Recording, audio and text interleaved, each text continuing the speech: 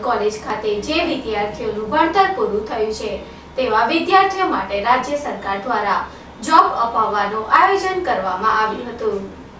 ભુજ શહેરના લાલન કોલેજ ખાતે જે વિદ્યાર્થીઓનું ભણતર પૂરું થયું છે, તેવા વિદ્યાર્થીઓને રાજ્ય સરકાર દ્વારા જોબ આપવા માટેનું છ ઝોનની અંદર આયોજન કરવામાં આવ્યું છે. તેમાં કચ્છ જિલ્લાનો પણ સમાવેશ કરવામાં આવ્યો છે, જેમાં કચ્છ જિલ્લામાં બારસો વિદ્યાર્થીઓનું રજીસ્ટ્રેશન થયેલું છે. હેઝી કંપનીએ પોતાની તૈયારી બતાવી છે અને વિદ્યાર્થીઓનું ભવિષ્ય ઉજળું થાય તેવી તક આપી છે. આમ વિદ્યાર્થીઓ બેરોજગાર ન રહે તેવા હેતુથી રાજ્ય સરકાર દ્વારા આ પ્રયાસો હાથ ધરવામાં આવ્યા છે.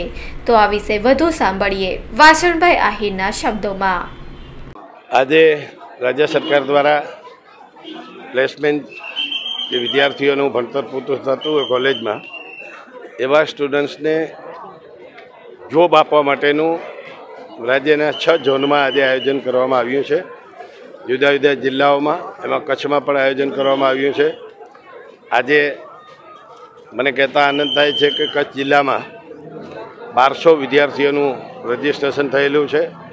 અને ગયા વખતે ત્રેપન કંપનીઓ આવી હતી. ગયા વર્ષે પણ હું આજ કાર્યક્રમમાં આજ લાલન કોલેજમાં આવ્યો હતો અને આજે એંસી કંપનીએ પોતાની તૈયારી બતાવી છે. એટલે બારસોમાંથી અનેક વિદ્યાર્થીઓને ખૂબ આજે એને ભવિષ્ય ઉજ્જવળ કરવા માટેની તક સાંપડી રહી છે. કચ્છ એટલે કચ્છ નહીં દેખા તો કુછ નહીં દેખા અમિતાભજીના શબ્દોમાં કહીએ તો આ દેશના પ્રજાવત્સલ પ્રધાનમંત્રી શ્રી નરેન્દ્રભાઈ અને રાજ્યના જનપ્રિય મુખ્યમંત્રી આદરણીય વિજયભાઈ રૂપાણી સાહેબના નેતૃત્વમાં વિકાસશીલ કચ્છ અને એમાં કોઈ બેરોજગાર ન રહે, એ રીતના દ્રઢ સંકલ્પ સાથે રાજ્ય સરકાર આગળ વધી રહી છે. આજના પ્રસંગે મેં હમણાં મારા પ્રવચનમાં પણ કીધું વિદ્યાર્થીઓને કે આજે તમારા માવિત્રો તમે સાંજે જ્યારે તમારા ઘરે જશો ત્યારે લાપસીના આધાર મૂકી અને તમારું સ્વાગત કરશે એવી શુભકામનાઓ. ધન્યવાદ.